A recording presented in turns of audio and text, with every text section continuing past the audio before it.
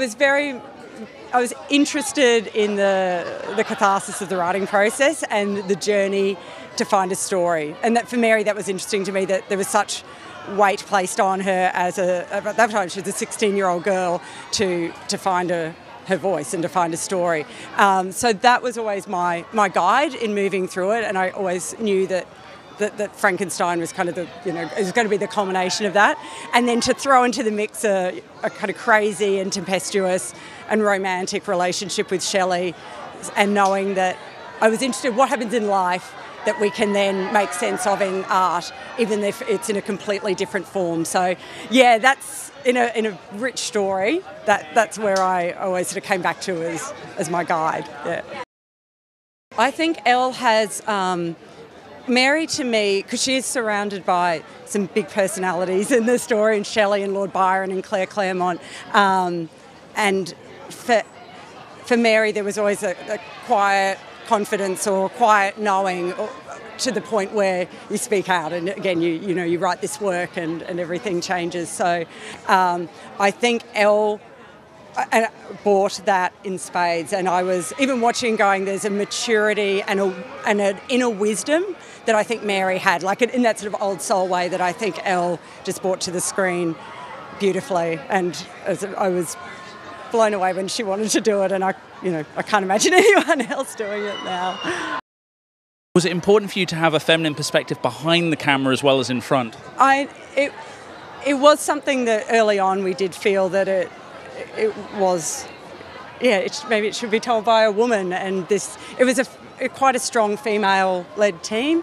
Um, and I think Haifaa then bringing her life experiences to the mix has has brought even more layers to the story. So yeah, I, I'm really proud of it as a as a female-driven story as well. What is it about that period of our history, our world history, and our creative history that you think keeps us coming back to it as a point of reference?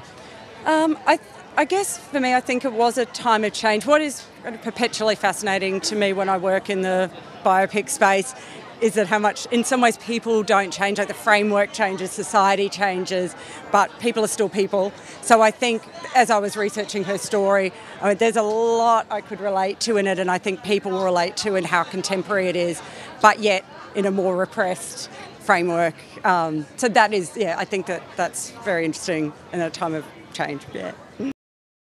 I think what did surprise me, I guess there are a couple of things. One was, again, how much this young woman was expected to follow in her parents' footsteps, like that weight of expectation. Like normally your parents are saying, don't write, don't act, don't do those things, and they're like, no, write and do it really well.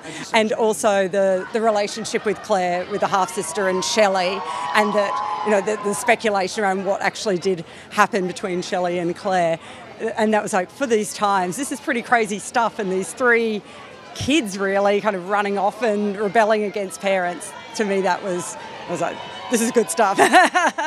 Talked about Elle before can you talk a little bit about Douglas and the qualities that he had that um, made him such a perfect fit for this role? Uh, well I think Douglas um, you can absolutely believe that a young Mary is going to see Douglas and just go happy days. but I think what Douglas also brought to it was an, a very unexpected quality of when Shelley, his personality could turn and it could turn on a dime. And there's a darker edge beneath that as well and a, and a real pain that he tapped into in, in that exploration. And the two of them together, I think the chemistry is quite amazing. So I was, yeah. Mary Shelley was a feminist ahead of her time she wrote something that is very masculine. She wrote about philosophy, about questioning God and paradigms, and that was not expected from women. Her contemporary was Jane Austen, who wrote about marriage and love and jealousy. Early things. Yeah, early things. she, and she did not confirm that. And it is amazing to see a woman who is whose her compass for morality comes from within, not from what the society tells her what is right and wrong. Can you tell us a little bit about this extraordinary cast you've assembled? Because I think particularly um, Douglas and Elle obviously at the heart of this story. Can you talk a little bit about both of their characters and, and what they brought to the role? Mm-hmm. Absolutely. I think Douglas and Elle were perfect. We it took us a while to cast them, and it is really we really wanted people to to to bring the heart of the story. And Elle is very young, yet is very mature and very complex, and that is what we wanted her to bring into the character, and she did that effortlessly, effortlessly and beautifully. Well, I think she's. It was funny. He kind of said that she's like a feminist icon in a way. Uh, she she should be held higher, I think. Cause, but but not many people know her her story, which is so so important for this movie to be told. Um, because what she went through is just very really inspiring and so modern as well um, with what I think we're all kind of going through and at this time and um, and I'm just happy that you know we, we can share it with the world. And I, I guess my approach to her, I mean, I Googled her a lot, um, but there's not much you. There's no videos of the way she talked, the way she walked around. So I kind of stopped that and realized, you know what, this is about a girl becoming a woman and. Um, and what she goes through and the complications of that. And I was 17 when I did the movie, so I um, I kind of knew I, I was in that zone of what the kind of being confused and what that feels like. And so, yeah.